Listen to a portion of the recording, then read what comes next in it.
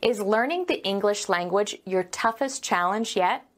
Become our student and get access to effective and free educational materials. How was your interview? Pretty good.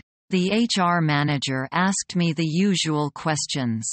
Then he wondered why I had decided to leave my previous job. What did you say? I told him that I hadn't got a raise for three years. I also told him that one of my best coworkers quitted her job because she had not been promoted for eight years. Did he want to know the reasons? Yes. I told him that my boss made some excuses of the recession. But I thought he had a pattern and a record of promoting men only. That's sex discrimination. When will you get the reply? In a couple of days, I was told. Wish you good luck. Thank you.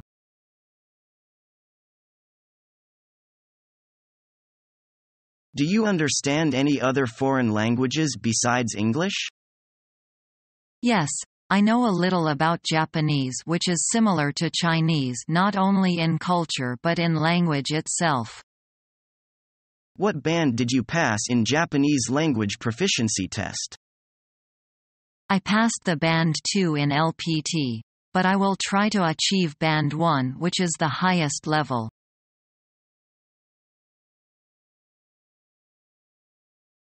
I called about that ad we saw in the paper. For the bank manager? That's the one.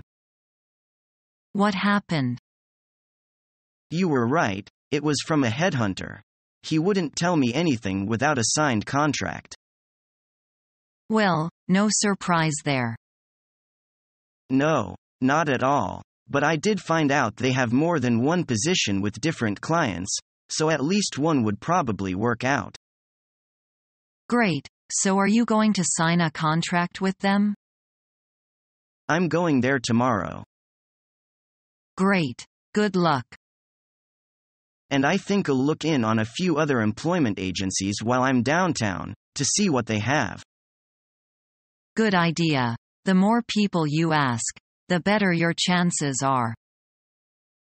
Following our free educational materials, you learn English in a great way with ease and efficiency.